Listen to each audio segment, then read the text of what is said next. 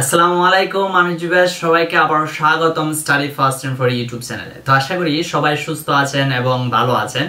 তো আজকে আমি যে বিষয় নিয়ে কথা বলব, আপনারা অনেকেই জানেন, যারা আমাকে কমেন্টস করেছিলেন বা যারা অনেকে ইউরোপে আছেন অথবা বাংলাদেশ থেকে যারা ইউরোপে আসতে চান অথবা যারা বাংলাদেশ থেকে টাকা ইনভেস্ট করে ইউরোপের পাসপোর্ট নিতে চান, মূলত তাদের জন্যই হচ্ছে এই ভিডিওটি। তো গত বেশ কয়েকদিন ধরে আমি জানি না এটা কি বিকজ অফ কোভিড নাইন্টিন এর কারণে মানুষরা এই ধরনের সুযোগ সুবিধা নিতে চাচ্ছে নাকি অন্য কোনো কারণে।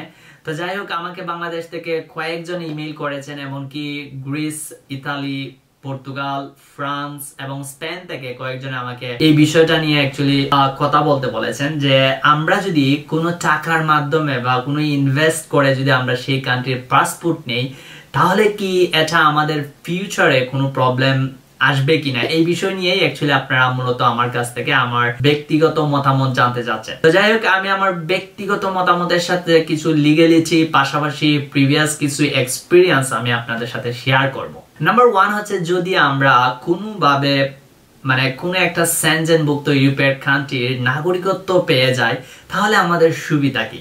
আচ্ছা আমরা অনেকেই জানি যে আমরা যদি কোনো একটা কান্ট্রির ইউরোপিয়ান সেনজেনভুক্ত কান্ট্রির নাগরিকত্ব আই মিন দ্যাট পাসপোর্ট পেয়ে যাই, তাহলে কিন্তু আমরা খুব ইজি ভাবেই একটা ইউরোপিয়ান সেনজেন কান্ট্রি থেকে অন্য একটা ইউরোপিয়ান সেনজেন কান্ট্রিতে যেতে পারব। সেখানে আমরা জব করতে পারব বিজনেস করতে পারব।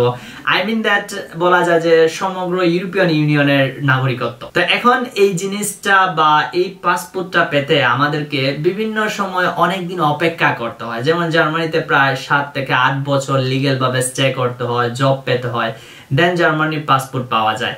একইভাবে স্পেনেও আমাদেরকে দশ থেকে বারো বছরের মতন অপেক্ষার পর আমরা সেই দেশের পাসপোর্ট পাই। ইতালিতেও ঠিক একই রকম বারো বছর, তেরো বছর পরে কিন্তু আমরা নাগরিকত্ব পেয়ে থাকি। পর্তুগালে ঠিক একইভাবে পাঁচ থেকে ছয় বছর পরেও কিন্তু আমরা নাগরিকত্ব পেয়ে থাকি। এখন অনেকেই মনে করেন যে এত সময় ওয়েস্ট করা বা অনেক কান্ট্রিতেই আছে আমরা। ফর এক্সাম্পল ইতালি থেকে যে ঘটনাটা ঘটে, যে বারো বছর, চোদ্দ বছর থাকার পর আমি সেই দেশের পাসপোর্ট পাবো।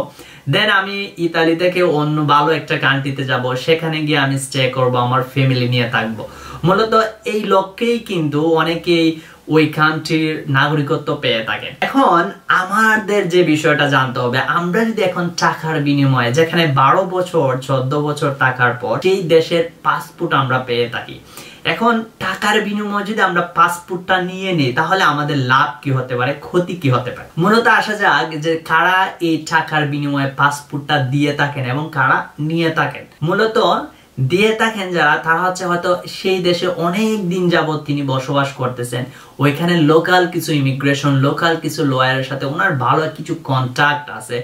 এবং যারা মূলত অনেক বৃদ্ধ হয়ে গেছে, অথবা যাদের আইডেন্টি খুঁজে পাওয়া যাচ্ছে না অথবা এমন অনেকেই আছেন যারা যে কান্ট্রির নাগরিকত্ব, উনি আর ওই কান্ট্রিতে বসবাস করতেছেন না, অন্য কোনো কান্ট্রিতে মুভ করতেছেন এবং তাদের অনেক আইডি তারপর পাসপোর্ট নাম্বার বিভিন্ন ধরনের বিষয়গুলা ডুপ্লিকেট করে কিন্তু তারা এক ধরনের আই মিন দ্যাট আমি এটাকে অরিজিনাল বলব না, এটা একটা ডুপ্লিকেট পাসপোর্ট তারা মেক করে থাকেন। এবং সেটা আইনগতভাবে সম্পূর্ণ নিষিদ্ধ এবং যারা এই কাজের সাথে জড়িত, যদি কোনো কারণে সেই দেশের আইন শৃঙ্খলা বাহিনী জানতে পারে, অবশ্যই উনার বিরুদ্ধে কঠোর পদক্ষেপ নেওয়া হবে। তো নাম্বার ওয়ান হচ্ছে, যারা এই কাজটি করে থাকেন, তাদেরকে অবশ্যই বিষয়টি মাথায় রাখতে হবে যে কোনো কারণে যদি আপনি পুলিশের হাতে ধরা পড়েন তাহলে আপনার নিস্তার নাই। নাম্বার টু হচ্ছে, যদি কেউ এই টাকার বিনিময়ে পাসপোর্টটা পেয়ে যান, তখন উনার কি কোনো প্রবলেম হবে কিনা? আমরা জানি যে গত কয়েক মাস আগেই মানে কয়েকটা নিউজে আমরা দেখেছিলাম যে অনেকেই যারা এই চক্রান্তের সাথে জড়িত হয়ে যারা পাসপোর্ট পেয়েছিলেন, তাদের সেই পাসপোর্ট এবং নাগরিকত্ব বাজেয়াপ্ত করা হয়েছে। তার মানে আপনি যখন টাকার বিনিময়ে সেই দেশের পাসপোর্টটা নিয়ে নেবেন কোনো কারণে যদি দেখা যায়, তারা জানতে পারে যে আপনি লিগেলি ভাবে সেই পাসপোর্টটি পান নাই, অবশ্যই আপনার নাগরিকত্ব হারাতে পারেন। হারাতে পারেন নাই, অবশ্যই হারাবেন। তো আমার মনে হয় যে যারা অনেক দিন কষ্ট করে, আট বছর, দশ বছর কষ্ট করে টাকা জমিয়েছেন, তাদেরকে আমি এটাই বলব যে অযথা টাকা নষ্ট না করে আপনি যে খানটিতে আছেন, ওই খানটির রুলস এবং রেগুলেশন ফলো করে যদি এতে সময় লাগে তাতেও আপনি সেই দেশের নাগরিকত্বের জন্য ওয়েট করুন। এখন প্রবলেমটা হচ্ছে, আমি আরেকটা বিষয় সবার সাথে শেয়ার করতে চাই, যে আমরা অনেকে হ্যাপি না, আমরা অনেকেই স্যাটিসফাই না, যে আমরা অনেকেই মনে করে থাকি, এটা অ্যাকচুয়ালি আমাদের কালচার বা দেশীয় একটা, কি বলা যায়, দেশীয় একটা কালচার বলা যায়, যে আমরা অনেকে মনে করি থাকি যে আমি থাকি জার্মানিতে, আমি থাকি পর্তুগালে, আমি থাকি গ্রিসে। তো অনেকে আমরা নিজেরা এটা মনে করি যে আমি যদি ভালো একটা কান্ট্রিতে যাই হয়তো আমি সেখানে গিয়ে ভালো কিছু করতে পারব, আমি সেখানে ভালো জব করতে পারব, আমার লাইফস্টাইল ভালো হবে।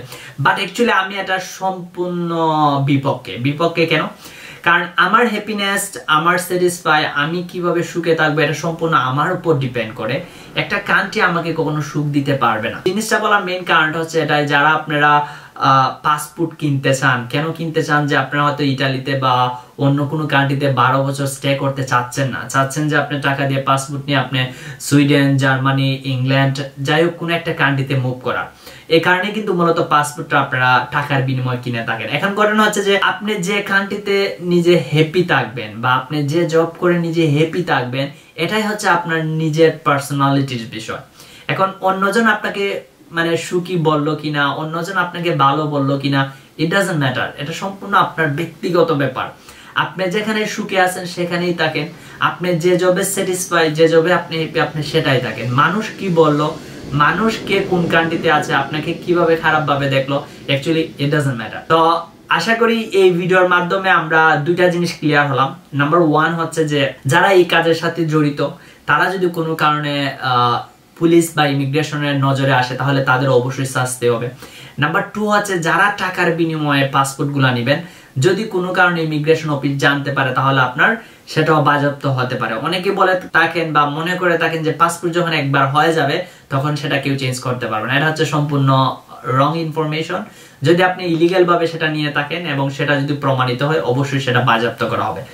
যাই হোক, যদি ভিডিওটি ভালো লাগে অবশ্যই আপনারা শেয়ার করবেন। আর যারা আমার চ্যানেলে first time don't forget to subscribe তো দেখা হবে নেক্সট ভিডিওতে আল্লাহ হাফেজ। আসসালামু আলাইকুম।